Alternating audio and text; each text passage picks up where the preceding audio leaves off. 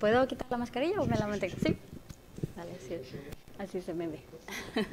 bueno, muchas gracias por la amable presentación y bueno, agradecer a la Residencia de Investigadores y al ICM el darme la oportunidad de participar en este ciclo de océanos y cambio global. Yo hoy, como bien has dicho, hablaré de, esta, de este aspecto invisible pero fundamental de los océanos. Bueno, pues eso, yo vengo de aquí, del Instituto de Ciencias del Mar de Barcelona, que es un instituto de investigación que se dedica al estudio de los mares y océanos desde distintos puntos de vista. De hecho, fue aquí precisamente, como ya has explicado, donde, empezó, donde comenzó mi trayectoria científica, cuando en 2006 vine a Barcelona a hacer mi tesis doctoral. Después me he movido un poco por el mundo, eh, después de doctorarme en 2011, eh, pasé un año trabajando como investigadora postdoctoral en la Universidad de Girona y posteriormente realicé una estancia postdoctoral de tres años en la Universidad de Quebec en Montreal, estudiando los lagos y los ríos boreales de Canadá. Y finalmente, desde 2016, eh, regresé al ICM y, por tanto, al estudio de los mares. En concreto, yo ahora pertenezco al grupo Ecología de los Microorganismos marinos, que en realidad ahora está liderado por Ramón Masana, no por Pep Casal, este grupo, y en este grupo nos dedicamos al estudio de la diversidad y el papel ecológico de estos microorganismos tan fundamentales para el funcionamiento de los océanos. Efectivamente, como decías, muchas veces cuando hablamos de la vida en los océanos nos imaginamos algo así, ¿no? Unos mares llenos de, de organismos grandes, visibles y de colores, pero en realidad la mayor parte de la vida microbiana, de la vida marina, es microscópica solo visible con lupa y microscopio.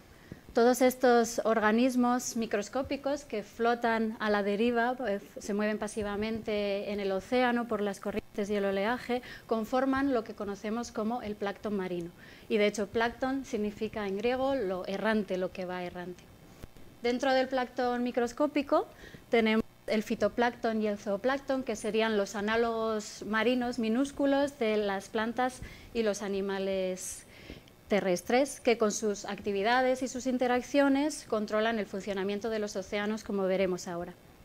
Pero si ampliamos un poco más la imagen, digamos que todos estos microorganismos están rodeados de otros organismos, de las bacterias, que con un millón de células por mililitro son los organismos vivos más abundantes de los océanos. De hecho, en vez de representar el océano así, sería más correcto representarlo o ilustrarlo así, como una gran sopa de microorganismos, porque el 90% se ha estimado que más o menos el 90% de la vida marina es microbiana. Como sabéis, los océanos ocupan aproximadamente el 70% de la Tierra y los biomas marinos van desde hasta mar abierto y las profundidades abisales. Bien, los microorganismos habitan con otros organismos más grandes, todos y cada uno de estos hábitats, e incluso en algunos de los más extremos, como volcanes eh, submarinos, son los habitantes de esas bueno, eh, como iba diciendo, bueno, estos microorganismos son responsables de innumerables reacciones químicas que controlan los flujos globales de elementos como el carbono y el nitrógeno, por ejemplo. Así como en la Tierra sabéis que son las plantas las que utilizando la luz y el dióxido de carbono generan biomasa, en el océano y fundamentalmente en el océano abierto son eh, los, principales productores primarios son el fitoplancton, estas algas microscópicas y algunas bacterias fotosintéticas que en conjunto son responsables del 50% de la productividad primaria del planeta. Pues bien, estos microorganismos utilizan la luz y crecen y eh, mientras crecen o cuando mueren liberan grandes cantidades de carbono orgánico disuelto al medio. Pues hoy sabemos que el bacterioplancton marino, estas comunidades microbianas, son capaces de incorporar gran parte de este carbono orgánico disuelto y lo usan o bien como fuente de energía y lo respiran produciendo CO2, dióxido de carbono, o lo usan como fuente de carbono, lo incorporan en sus estructuras eh, generan biomasa bacteriana, crecen, se dividen y se convierten en fuente de alimento para otros microorganismos como flagelados o ciliados. De esta forma, las bacterias no solo controlan el destino de este carbono en los ecosistemas marinos, sino que además eh, contribuyen al mantenimiento de las cadenas tróficas en el mar. A su vez, las comunidades microbianas juegan un papel muy importante como reguladores del clima porque secuestran carbono, dióxido de carbono de la atmósfera. Como sabéis, el dióxido de carbono es un gas de efecto invernadero, por tanto, este proceso contribuye a regular la temperatura del planeta y de los mares.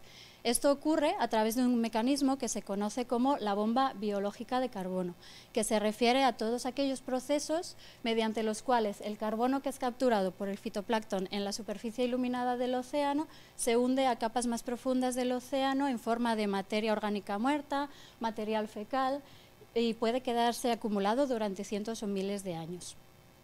Eh, de hecho, este flujo de partículas es un proceso generalizado en el océano y este material constituye una fuente de alimento muy importante para los organismos que habitan el océano profundo, ya que deben sobrevivir en este ecosistema tan hostil donde la falta de luz impide que haya fotosíntesis. Eh, con este proceso, los océanos podrían funcionar como sumideros de carbono, ¿no? Eh, secuestrando carbono de la atmósfera. Sin embargo, la eficiencia de este proceso, la eficiencia de este secuestro de carbono, dependerá, por una parte, de la velocidad a la que se hunda este material y, por otra, de otros procesos de remineralización y descomposición que pueden convertir de nuevo este material en, en dióxido de carbono y podría escaparse a la atmósfera. Pero bueno, ¿cómo es posible que estos microorganismos tan pequeños tengan implicaciones globales? Bueno, al final es, una, es cuestión de número. Imaginaos, eh, fijaos en las bacterias que, como ya os he dicho, son los organismos vivos más eh, abundantes de los océanos. Eh, se ha estimado que tenemos alrededor de un millón de células en una gota de agua, imaginaos cuántas contendrán los aproximadamente 1.300 millones de kilómetros cúbicos de agua que tienen los océanos en el planeta. Y de hecho se ha estimado que, son, que hay más bacterias en el océano que estrellas en el universo. Es un número tan grande que ni siquiera podemos imaginarlo, es un 1 seguido de 29 ceros y de hecho sin ellas ni siquiera estaríamos aquí, porque fueron precisamente las primeras bacterias fotosintéticas las que con su actividad empezaron a producir el oxígeno que conforma hoy la atmósfera terrestre y que posibilitó el desarrollo de la vida tal y como lo conocemos hoy. Bueno, esta entrada de carbono orgánico al sistema a través de las bacterias es la base de lo que se conoce como bucle microbiano o microbial loop en inglés, y su descubrimiento data más o menos de 1974, que es cuando empezamos a tener una idea de la relevancia de estos microorganismos en los océanos. Y este descubrimiento, como la mayoría de los descubrimientos en ecología microbiana, está muy ligado al desarrollo de las técnicas. Por ejemplo, las primeras estimas del número de bacterias en el océano se basaban en recuentos de aislados bacterianos capaces de crecer en un medio de cultivo. En esta imagen, estos medios de cultivo son como las placas de agar, que no sé si habréis visto alguna vez. En esta imagen, cada uno de estos círculos representa una célula individual que ha crecido sobre este medio de cultivo y ha formado estas colonias bacterianas visibles. Pues lo que se hacía era contar el número de colonias que se tenían y se estimaba el número de bacterias de la muestra. Sin embargo, alrededor de 1970 se desarrolló otro método que es la microscopía de epifluorescencia, que permitió visualizar por primera vez las bacterias en el medio tal y como las veis aquí. Y entonces empezó a tener una idea de los números reales de estas bacterias en el océano y en otros ecosistemas. Y de hecho hoy sabemos que menos de un 1% de las especies bacterianas son capaces de crecer en medios de cultivo, de manera que estos métodos estaban subestimando enormemente la biomasa bacteriana de los océanos y por tanto el papel que se les atribuía. Para que os hagáis una idea de cómo se obtiene una imagen así, eh, para contar, para realizar estos recuentos de bacterias, lo que se hace es filtrar un volumen eh, determinado de agua por unas membranas, unos filtros que tienen un tamaño de poro de unas 0,2 micras, que retienen la mayoría de las células bacterianas. Estas células eh, después se tiñen con tinciones fluorescentes que permite visualizarlo bajo el microscopio. cuando emitimos luz, emite la tinción fluorescencia. Son tinciones que se unen al material genético. Después podemos contar manual o automáticamente todas las células presentes en varios campos de área conocida a lo largo del filtro y finalmente si conocemos el volumen que habíamos filtrado originalmente podemos calcular la concentración de las células. Bueno, en paralelo, otras técnicas como la incorporación de sustratos radiactivos por las bacterias para estimar su incorporación por estos microorganismos desveló que estos microorganismos tan abundantes no eran inactivos, sino que realmente estaban activamente creciendo utilizando el carbono orgánico que liberan los productores primarios, como ya os he dicho. Este hallazgo, por tanto, cambió drásticamente nuestra visión del ciclo de carbono en los océanos y de las redes tróficas marinas, que durante mucho tiempo se había pensado que estaban basadas exclusivamente o preferencialmente en la transferencia directa de energía y carbono del fitoplancton al zooplancton. Desde aquel momento hubo multitud de estudios dedicados a estudiar los, los, factores que controlan la abundancia y la actividad de las bacterias, demostrando, por ejemplo, que hay multitud de otros microorganismos que eh, se alimentan activamente de bacterias y controlan sus poblaciones, o que el océano contiene un número inmenso de virus que también pueden infectar células bacterianas, lisar y romper las células y devolver gran parte de ese carbono orgánico al medio. Todo esto eh, obviamente despertó un gran interés en, entender la estructura de estas comunidades, su papel en los ecosistemas y los factores eh, bióticos y ambientales que controlan la distribución y las abundancias de las especies en la naturaleza. Claro, estudiar la distribución de las especies puede ser relativamente sencillo con algunos grupos de fitoplancton y zooplancton porque, que se pueden eh, identificar morfológicamente, pero en el caso de las bacterias y de otros organismos más pequeños, todavía hubo que dar otro salto metodológico importante para profundizar en, en el conocimiento de estos organismos. Y este, este salto fue el desarrollo de las técnicas de secuenciación del ADN. Estas técnicas se basan en la extracción del ADN de una comunidad, de una muestra, y la posterior secuenciación de su material genético.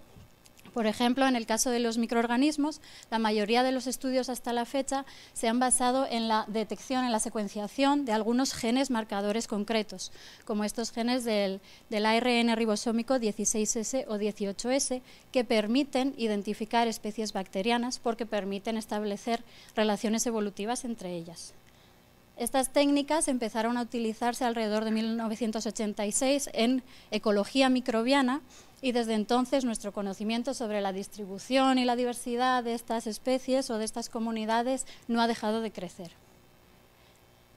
Esta información genética, no sé si se ve muy bien aquí, pero bueno, también se ha utilizado para diseñar eh, marcadores moleculares fluorescentes que nos permitan visualizar eh, bajo el microscopio algunos grupos o especies concretas. Por ejemplo, aquí veis en azul marcadas todas las células de la muestra y en verde unos grupos concretos que en este caso pertenecen a las gamma proteobacteria.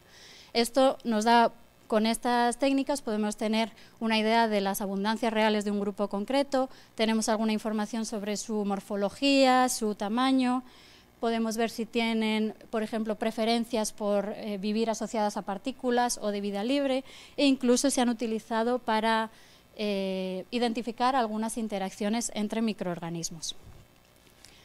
Pero por supuesto este es un campo en continuo desarrollo y de hecho ahora contamos con muchas otras técnicas más modernas como la metagenómica o la metatranscriptómica que lo que permiten es secuenciar todo el material genético de una muestra, no solo algunos genes concretos, como en el caso de los marcadores. Eh, de esta manera podemos tener el potencial funcional de las comunidades y em, eh, estudiar, por ejemplo, cómo varía una cierta función a lo largo de gradientes ambientales y últimamente se está tendiendo también hacia la reconstrucción de genomas completos a partir de todos estos fragmentos para tratar de saber qué especies hay en una comunidad y cuál es el potencial funcional, cuáles son las funciones que puede desarrollar esas especies. Esto es importante porque, como ya os he dicho, solo una fracción muy pequeña de las especies bacterianas o microbianas se pueden cultivar, de manera que si no las tenemos en cultivo no sabemos nada de su fisiología. Así que tenemos que basarnos en el material genético. La aplicación de estas técnicas eh, realmente ha revelado que el árbol de la vida es fundamentalmente microbiano. Por ejemplo, fijaos en la enorme diversificación de las bacterias en comparación con la de las plantas y animales que se concentran en esas pequeñas ramas. Y de hecho cada año se, descubren eh, nuevas especies, nuevos grupos, de manera que parece que todavía estamos muy lejos de tener una visión completa de la diversidad microbiana. Además, cada nuevo descubrimiento parece abrir más preguntas de las que cierra, revelando una, complejidad que parece no tener límites. Por ejemplo, ahora sabemos que no solo son las bacterias quienes toman carbono orgánico disuelto del medio, sino que hay muchos otros organismos que también pueden incorporarlo, incluidos los productores primarios. Sabemos que hay algas que pueden ingerir bacterias, se han descrito metabolismos que no existen en plantas y animales, como la fotoheterotrofía, fotoheterotrofía de bacterias, que es la capacidad de usar la luz e incorporar materia orgánica, o la capacidad de generar biomasa a partir de CO2, pero sin luz. Y además hemos visto también que las interacciones eh, tipo parasitismo, simbiosis, son mucho más comunes y más importantes de lo que se pensaba. Por tanto, podéis imaginaros que será complicado realmente saber cómo estas variaciones y estas funciones impactan en los ecosistemas y que hay que tener en cuenta todas estas interacciones entre microorganismos. Bueno, respecto a la estructura de las comunidades, también hemos aprendido mucho aplicando estas técnicas de secuenciación. Por ejemplo, sabemos que las comunidades, que en el mar puede haber células que flotan libremente y son comunidades de vida libre, mientras que hay muchas especies que prefieren vivir asociadas a materia, a partículas, a organismos o a material particulado muerto, y eh, porque probablemente tengan más disponibilidad de nutrientes y de carbono aquí y en consecuencia las comunidades de vida libre y las asociadas a partículas son muy diferentes en términos de composición y de función. Sabemos también que las comunidades varían eh, gradualmente desde la superficie a la profundidad porque las especies que dominan en superficie son muy diferentes de las que habitan el océano profundo y de nuevo esto es por distintas adaptaciones de las especies a estos gradientes ambientales, en la luz, la temperatura, presión, disponibilidad de nutrientes a lo largo de la columna de agua. Y hemos visto también, sobre todo en la superficie, que las comunidades eh, microbianas varían estacionalmente en una sucesión de especies que se repite año tras año. Todas estas variaciones espaciales y temporales resultan de las respuestas de las distintas especies ante cambios en variables en el ambiente como en la luz, pH, temperatura, salinidad, nutrientes, etc. y conllevarán a su vez cambios en las funciones asociadas a estas comunidades. De manera que si podemos entender cómo varían estas comunidades ante cambios en estas condiciones, podremos tener una idea de las potenciales alteraciones en las funciones del ecosistema. Y como todos sabéis, bueno, se esperan grandes cambios en las condiciones marinas en años venideros. ¿no? Los océanos están bajo una amenaza sin precedentes como consecuencia de nuestras acciones, que pueden ser directas, como sobrepesca, destrucción de hábitats o contaminación por vertidos o por plásticos, o indirectas, como el calentamiento global o la acidificación eh, asociadas al cambio climático. Obviamente todo esto todas estas amenazas eh, eh, y problemas causarán cambios en el medio marino, pero todavía no sabemos, no conocemos muy bien cómo responderán estas comunidades microbianas ante estos cambios, aunque realmente los microorganismos podrían ser buenos eh, indicadores de cambio climático porque, porque su cambio climático o cambio global porque sus ciclos de vida cortos y su rápido crecimiento hacen que sean los primeros en responder incluso ante las perturbaciones más sutiles. Bueno, en el océano, por ejemplo, el aumento de la temperatura y el consecuente deshielo de los polos puede acarrear cambios en muchos aspectos. ¿no? Por ejemplo, puede cambiar la circulación, como bien mencionabas, que influirá en el clima. Eh, se ha visto que hay reducción en el oxígeno disuelto, hay un aumento de la estratificación que a su vez eh, impactará en los regímenes lumínicos, la penetración de la luz y reduce los aportes de nutrientes desde las capas profundas. Además, bueno, el deshielo de los polos eh, conlleva el temido ascenso del nivel del mar, pérdidas en el hábitat de especies polares, etc. Todos estos cambios afectarán obviamente a las comunidades microbianas, pero como ya he dicho, no está muy claro en qué sentido lo harán. Por ejemplo, un aumento de la temperatura aumentará, se espera que aumentará la actividad eh, metabólica de los organismos y por tanto podríamos esperar mayores tasas de producción, de remineralización, etc. Uno de los efectos que se ha descrito, por ejemplo, con los productores primarios, es que parece que el aumento de la temperatura llevará hacia eh, una reducción de tamaño en los productores primarios, en el fitoplancton. No está claro si este es un efecto directo sobre los organismos, eh, eh, un efecto directo de la temperatura sobre los organismos o indirecto, por ejemplo, si la temperatura estimula la predación por parte del zooplancton de grupos grandes de fitoplancton o si reduce los aportes de nutrientes por, eh, una mayor estratificación reduce los aportes de nutrientes que necesita el fitoplancton desde las capas más profundas. Pero lo que sí que está claro es que una reducción en el tamaño de los productores primarios tendrá seguramente impactos importantes en esta capacidad de los océanos de secuestrar carbono a través de la bomba biológica de carbono, porque los grupos grandes son más propensos a hundirse y a secuestrar carbono. Otro, de los, otro efecto del calentamiento que es más conocido es el blanqueamiento del coral o bleaching del coral, que supone una pérdida de color de los corales y la muerte y realmente tiene efectos devastadores en los arrecifes de coral.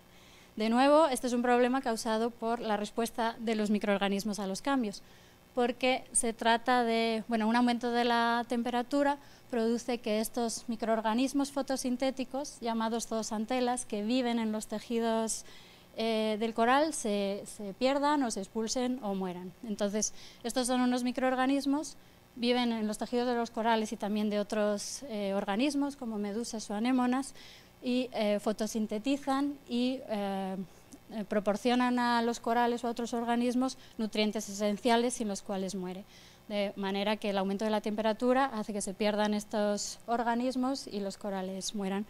Como sabéis, los arrecifes de coral son refugio para multitud de especies, de manera que esto, bueno, y su desaparición, por tanto, eh, conlleva pérdidas dramáticas de biodiversidad. Así que esto es otro ejemplo de cómo las respuestas de los microorganismos realmente ante estos cambios pueden tener eh, impactos muy importantes. Los corales también son víctimas del otro gran problema asociado al cambio climático, que es la acidificación. Se, estima que los océanos absorben aproximadamente una tercera parte del CO2 que producimos.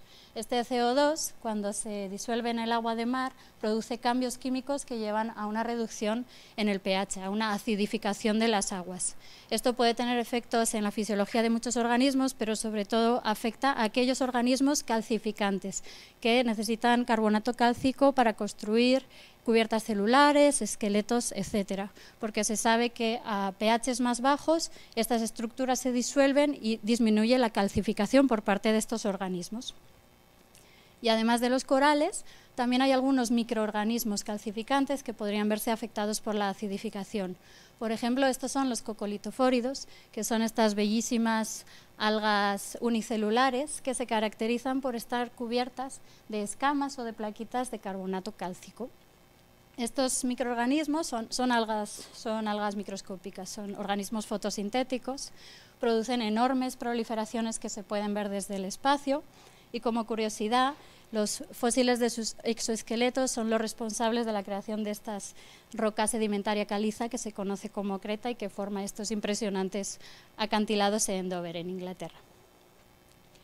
Bueno, estos microorganismos, los cocolitofóridos, juegan un papel muy importante en el ciclo de carbono porque estas eh, grandes eh, proliferaciones acaban hundiéndose, pero al mismo tiempo la producción de carbonato cálcico libera CO2. Y de hecho no está muy claro cuál es el efecto de la acidificación, porque por ejemplo, como podéis ver en este, en este experimento que se hizo en el Mediterráneo, aunque vieron que la reducción del pH, la acidificación, sí que producía un efecto porque había malformaciones en las placas de los cocolitofóridos, en realidad parecía que fue el aumento de la temperatura lo que realmente causó una disminución en estos organismos. Sin embargo, en este otro estudio, donde eh, estimaron el peso de las placas de cocolitofóridos fósiles a lo largo de 40.000 años, sí que, sí que ven una tendencia de una reducción en la calcificación hacia pHs más ácidos. En cualquier caso, y para complicar un poco más todo esto, además de los efectos directos del cambio climático sobre los organismos, puede haber multitud de efectos indirectos eh, mediados por interacciones bióticas que también tengan un efecto sobre los organismos y su papel. Por ejemplo, en el caso de los cocolitofóridos se ha visto que la infección por un virus concreto eh, hace que la célula explote literalmente y libere al medio sus placas. Y se ha visto después que estas placas, estos fragmentos se pueden aerosolizar, eh, es decir, convertirse en partículas del aire, donde pueden actuar como núcleos de condensación de agua y favorecer la formación de nubes. ahí se corta arriba, pone formación de núvols. De la misma manera, la, predación por parte del zooplancton de los coccolitofóridos puede liberar un compuesto de azufre, que es el dimetilsulfuro propionato, que es precursor de otro gas del DMS, dimetilsulfuro, que, eh, que también promueve, se ha visto que promueve la formación de nubes. La formación de nubes a partir de aerosoles marinos es muy importante porque las nubes aumentan el, albedo de la Tierra, que es la cantidad de radiación solar que se refleja y no incide, de manera que ayudan a controlar la temperatura del mar. Por tanto, cualquier efecto sobre otros organismos, otros organismos del plancton que puedan interactuar con los cocolitofóridos probablemente impacten en su abundancia, en su papel y a su vez esto podría tener algún efecto sobre el clima si eh, afecta a estos procesos atmosféricos. Bueno, es importante mencionar también que los océanos no son ecosistemas aislados y que forman, son un extremo del continuo eh, acuático global y en general reciben grandes cantidades de material de los continentes a través de ríos, de escorrentía y de, de otras entradas menos conocidas como la descarga de agua subterránea. De manera que nuestras acciones en tierra también tendrán un impacto en el mar.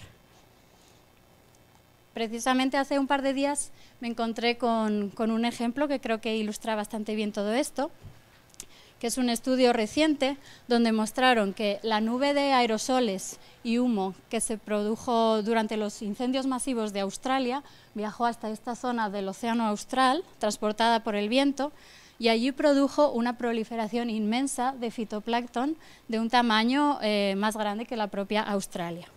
Esto, se explica porque estos aerosoles de los incendios transportan muchos eh, metales y nutrientes como el nitrógeno y el hierro, que son necesarios para la productividad y el crecimiento del fitoplancton. Y de hecho el fitoplancton en el océano está muy limitado por la disponibilidad de estos nutrientes. estos autores eh, dicen que esta proliferación duró unos cuatro meses y estimaron que en total eh, absorbió este bloom de fitoplancton, esta proliferación, absorbió tanto dióxido de carbono como el que se produjo durante los incendios, unas 680 millones de toneladas de CO2 lo cual de nuevo indica que a pesar de su pequeño tamaño, estos microorganismos pueden tener un impacto muy grande en el ecosistema. Y sin embargo, el que este CO2 realmente acabe secuestrándose en el fondo del océano o vuelva a la atmósfera depende de nuevo de la diversidad de estas comunidades, de su ecología y de sus interacciones. Aquí es otro ejemplo que ya he mencionado, el del Mar Menor, que me pareció eh, muy ilustrativo también, pero es un ejemplo a pequeña escala de los impactos terrestres sobre el océano. ¿no? Es el Mar Menor que, como probablemente todo el mundo ya sepa, es una laguna costera, salina, conectada con el Mediterráneo, que ha sido la triste protagonista de las, de las últimas noticias a causa de estos episodios de mortandad masiva de peces.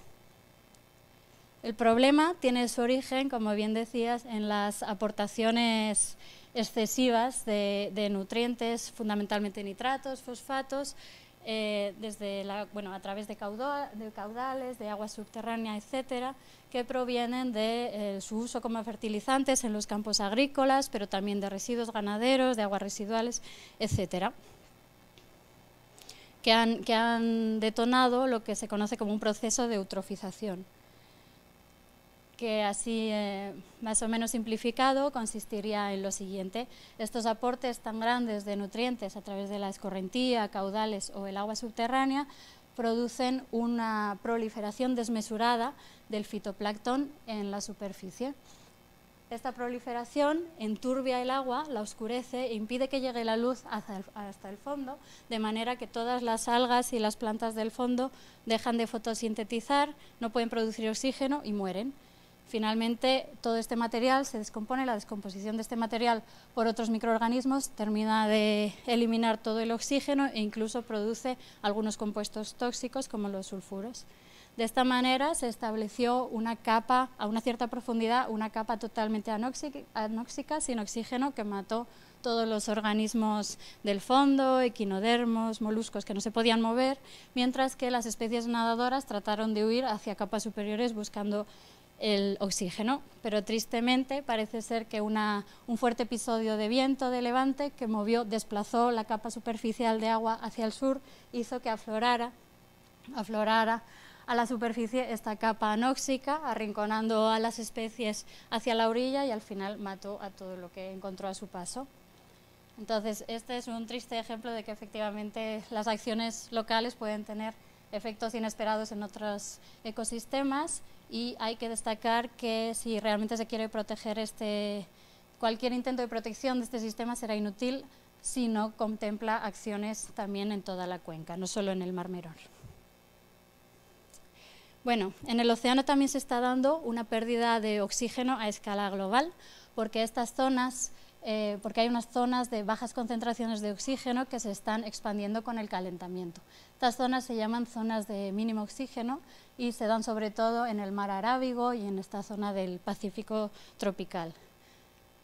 En general, son zonas que se establecen en una determinada profundidad, entre 200 y 1500 metros, y coinciden con áreas donde hay afloramientos del agua profunda que va cargada en nutrientes, de manera que se estimula la producción primaria en superficie y de hecho son zonas muy, muy productivas y son ricas pesquerías.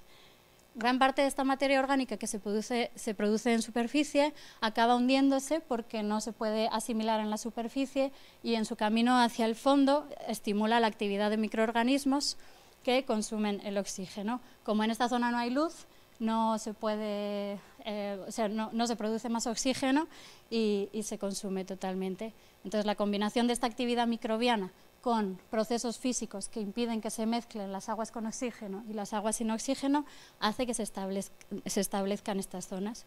Sin embargo, con el calentamiento se está viendo que se están expandiendo estas zonas y se cree que puede ser debido a que la temperatura de nuevo aumenta la actividad metabólica de los microorganismos y disminuye la solubilidad del oxígeno. No se sabe muy bien cuáles pueden ser los efectos, pero claramente tendrá impactos sobre la distribución de organismos que sí que necesitan oxígeno, sobre los ciclos biogeoquímicos, etcétera. Y ya para terminar, simplemente mencionar que, claro, toda esta diversidad de microorganismos desconocida probablemente eh, esconda mucho, un gran potencial biotecnológico. De hecho, en los últimos años se ha disparado el número de patentes, de secuencias, de genes, de moléculas y, y microorganismos, organismos con interés, de interés comercial y este aumento va en paralelo a la exploración de la diversidad marina. Por ejemplo, se ya se estaban empezando a, se está empezando a investigar o se está empezando a, detectar microorganismos o genes que, eh, o enzimas que permiten degradar el plástico, que si visteis la primera charla de este ciclo del 13 de octubre pasado por Cristina Romera, habréis visto que realmente es uno de los grandes problemas de los océanos también se están buscando genes o organismos que son capaces de limpiar, de contaminar eh, aguas y sedimentos contaminados por mercurio. Y probablemente Andrea, en la última charla de este ciclo, el próximo 25 de octubre, os hable un poquito de esto. Así que es posible que, tanto, que esta enorme diversidad de microorganismos todavía por descubrir contenga algunas de las herramientas que quizá podrían ayudarnos a paliar un poco el daño que estamos provocando. Así que nada, ya para terminar, espero haberos convencido un poco de que los microorganismos del océano son clave para mantener, eh, para el funcionamiento de los ecosistemas e incluso para mantener el clima son siempre los primeros en responder, de manera que serían buenos indicadores de cambio climático, pero en general sabemos poco y entendemos mal sus respuestas a, este, a estos cambios. Los estudios muestran que son respuestas muy complejas, imprevisibles muchas veces, debido a estas interacciones biológicas, a procesos de retroalimentación. Hemos visto también que muchas veces los impactos en el océano pueden venir por acciones concretas en la Tierra, de manera que hay que conocer bien los ecosistemas, sus conexiones y las respuestas de estos microorganismos, de estos microorganismos y finalmente, como ya he dicho, la exploración de este potencial genético de los microorganismos del mar quizá eh, esconda algunas herramientas que podrían ayudarnos a, a resolver algunos de los problemas. Y ya está, con esto acabo, agradeciendo de nuevo a la Residencia de Investigadores y al ICM por por haberme invitado, a la audiencia que está por ahí eh, por escuchar y dejo con esta, con esta cita del ecólogo catalán Ramón Margalef. Muchas gracias. Eh, muchas gracias, eh, muchas gracias Clara. realmente eh, como les decía a todos ustedes, pues extraordinario porque nos descubre un mundo que para nosotros es totalmente, totalmente desconocido. Eh, y bueno, pues eh, una vez más se pone de manifiesto la necesidad que tenemos todos, todos de, de asumir cada vez más una mayor conciencia respecto a lo que es nuestro, nuestro medio, nuestro medio ambiente, en este caso el tema de los océanos. Tenemos alguna pregunta en lo que es correo electrónico y demás. Y una de las primeras preguntas era esta, esta cuestión que he, mencionado, Cristina, que de, esta noticia del ICM, de que en el mes de junio se pudisteis analizar eh, estos 317, en los genomas de 307 microorganismos. Y, bueno, pues nos comentan que si podríais desarrollar esto un poquito, porque, claro, está íntimamente relacionado esto, sobre todo porque es del océano profundo. Y claro, esto, esto es una, ese océano profundo, esos 3.000, 4.000 o 5.000 metros, pues claro, realmente eh, si ya pensamos en que en esa superficie o en ese, o, en fin, eh, pasa lo que pasa, a medida que vas bajando, a medida que vas perdiendo, se va perdiendo la luz, se va todo, todo, todo ese moto, esa, toda esa materia orgánica disuelta va bajando, pues claro, allí se pueden crear unas interacciones realmente extraordinarias. Yo no he participado directamente en ese estudio. Ese es un estudio que se deriva de esta campaña global que hubo, que dio la vuelta al mundo, que es Mala Espina, que tenía como foco el estudio del océano profundo. Entonces, sí, se, se, secuenció básicamente el océano profundo, se construyó el primer catálogo de genes del océano profundo, porque realmente es uno de los ecosistemas menos explorados. Dicen que se sabe menos del fondo del océano que de, la, que de la superficie de la Luna. Entonces, bueno, reconstruyeron estos genomas y, si no recuerdo mal, encuentran, encuentran bastante novedad, bastantes especies nuevas que no se habían descrito antes. Encuentran pues algunos de estos genes con potencial para degradar mercurio que se está explorando, se están tratando de aislar estos, estos organismos para ver si pueden realmente detoxificar, ¿no? por ejemplo, sedimentos y cosas así. Y luego se descubren, se han descubierto pues que la mayoría de estos genomas son muy versátiles, son organismos que, pueden hacer un poco de todo, porque realmente la, vida en el océano profundo es muy dura porque dependen en gran medida de lo que caiga de arriba, y lo que cae de arriba es esporádico, es puntual, mucha mucho de este material se remineraliza antes y entonces no llega abajo, entonces realmente parece que son eh, son bichos que tienen genomas grandes que pueden utilizar cualquier cosa que caiga rápidamente, en cualquier momento. Y no sé si recuerdo algo más. la, cuestión es, Cristina, si, eh, Clara, yo soy Clara.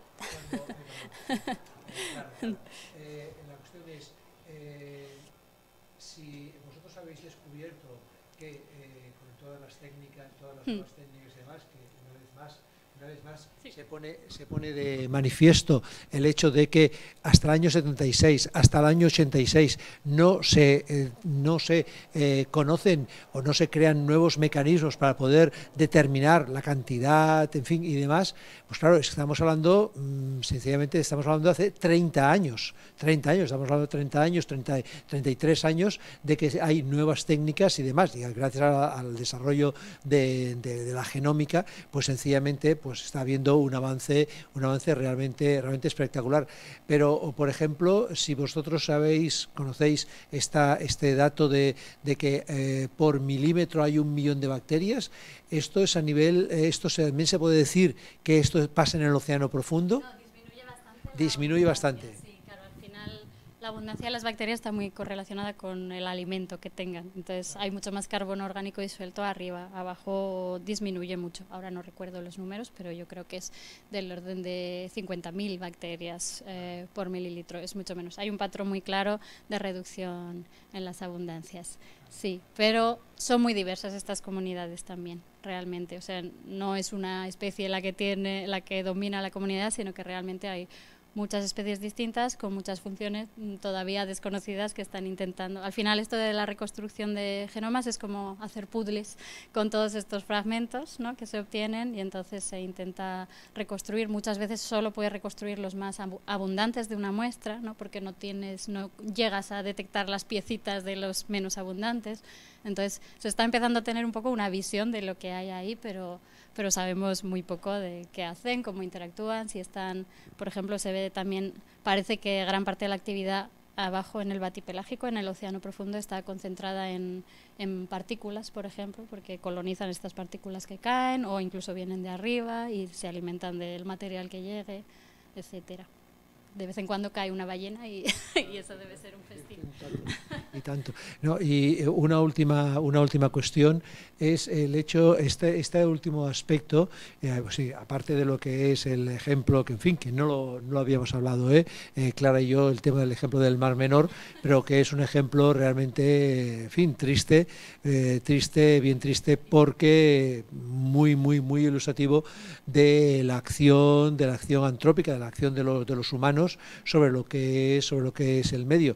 Pero realmente también eh, en este en esta idea en esta idea y en esta y en este eh, fin en estos mm, que nosotros estamos haciendo en esta eh, esta actuación que hacemos sobre el medio, este último aspecto que comentabas, eh, de, comentabas esta de la bioremediación, es decir, es decir, este, este aspecto de esta biotecnología eh, azul, azul puede ser realmente extraordinario, ¿no? Porque claro, eh, se está pensando en el tema del calentamiento, se está pensando en el tema del CO2, pero siempre estamos pensando en el tema del CO2 con el tema de plantar más árboles o el tema del coche eléctrico o todas estas cuestiones, pero no estamos pensando que posiblemente, posiblemente la gran fuente la gran fuente de, absorción, de destrucción, de transformación de lo que es eh, de ese CO2 realmente sea sea el océano. Y en este caso sean, sean todo, toda esta serie de, micro, de microorganismos. Y esto pues realmente abre unas expectativas eh, realmente extraordinarias. Pero claro para todo eso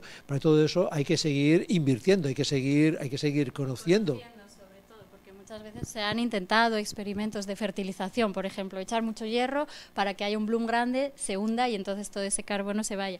Pero muchas veces pues de repente ese fitoplancton se lo comen otros organismos, entonces se libera de nuevo el carbono, se respira y vuelve. Entonces, al final necesitas conocer cuáles son estas interacciones, porque eso es lo que determinará el, el, resultado de, de, la acción, ¿no? O sea, tú puedes pensar, vale, si yo fertilizo, esto se hunde, pero igual no, igual viene otro bicho, se lo come, se libera y vuelve a la atmósfera, como lo de los incendios. Realmente no se sabe si todo ese CO2 realmente se hundiría y entonces sería fantástico porque habría filtrado todo eso que se produjo en ese desastre o no, o realmente se va a remineralizar en superficie porque haya otros bichos que crezcan un montón en respuesta a ese bloom de fitoplancton y, y vuelva. Entonces, realmente yo creo que hay que tener un conocimiento muy grande de la ecología que todavía no tenemos porque es que estamos empezando a entender cómo funcionan y cada vez las interacciones, cada vez es, es muy complejo realmente y son respuestas muy imprevisibles. Pero sí que se está pensando un poco en esa dirección, de decir, bueno, es que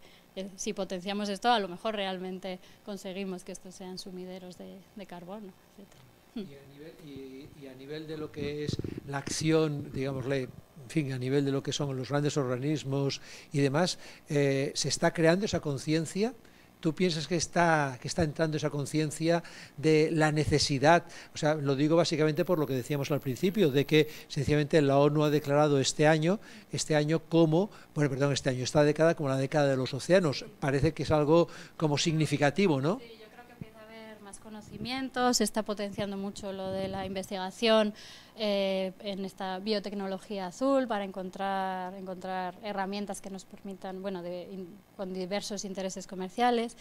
Pero bueno, luego ves a, nivel local, ves el problema del Mar Menor y, y, dices, pues no sé si realmente se van a tomar medidas que salven este ecosistema, ¿no? que sería una cosa obviamente complicada políticamente y tal, pero bueno, que es un espacio pequeño que si controlas las entradas y, haces otros manejos de agricultura, etcétera, y no sigues presionando tanto la zona, pues probablemente se podría recuperar de alguna manera. Es verdad que parece ser que los acuíferos están muy contaminados y claro, esto es una descarga lenta que va a ir mucho tiempo, mucho tiempo descargando y contaminando. Entonces, Yo espero que sí, que haya más conciencia y que poco a poco se, se, entienda que no podemos que no podemos vivir sin los océanos sanos realmente, que nos vamos a freír todo. sí. Muy bien. Pues eh, lo vamos a dejar aquí, le agradecemos eh, mucho eh, esta magnífica conferencia y nos quedamos con un aspecto que ella ha, mencionado ahora últimamente, que es Primero, el tema de lo que es esa contaminación, mm, en fin, que por el efecto de, por el efecto, por la actuación de los humanos, porque esta será la, la, la, conferencia la semana que viene. Es decir, otra investigadora del, del, Instituto de Ciencias del Mar, sencillamente nos va a hablar de un caso concreto que es el tema del mercurio, el tema del mercurio en el mar, que evidentemente es un problema, es un problema que junto a otros es importante, pero este podemos decir que este es uno de los, de los grandes problemas que nosotros nos encontramos hoy en día. Por lo tanto, les esperamos a todos ustedes el lunes que viene a las 6 de la tarde para conocer esta problemática del mercurio en nuestros, en nuestros océanos y en nuestros mares. Y evidentemente todo lo que comporta respecto a lo que es la salud de los océanos, lo que es la salud de lo que son los animales, ya sean microbios, ya sean, eh, ya sean saitons, eh, eh, en fin, de todos los animales y evidentemente después lo que llega, lo que llega a nivel de la alimentación a nuestras, a nuestras, a nuestras mesas. Eh, hemos de pensar que, por ejemplo, que hay algunos, algunos, eh, hay algunos países, por ejemplo, que eh, para, para, las personas, las mujeres que están embarazadas, ya se les prohíbe directamente el comer, el comer, por ejemplo, pez espada, por ejemplo. ¿Eh? Es el pez espada que acumula grandes cantidades de mercurio o de otros o de otros, eh, otros productos químicos. Por lo tanto, eso nos da una pista realmente importante de la gravedad de este, de, este asunto. Por lo tanto, les invitamos la semana que viene a conocer esta, esta problemática. Por lo tanto, gracias y sobre todo, y sobre todo muchas gracias, eh, muchas gracias por esta magnífica conferencia. Y mucho ánimo con toda la investigación porque realmente, realmente eh, sumergirse en este mundo, conocer estas comunidades eh, con estos, mm, en fin, no sé si decir miles de millones, eh, o sea que no tiene, no tiene realmente fin, pues realmente es, es, extraordinario. Muchas gracias. Gracias a todos ustedes. Buenas tardes, buena tarde, buena semana. Gracias.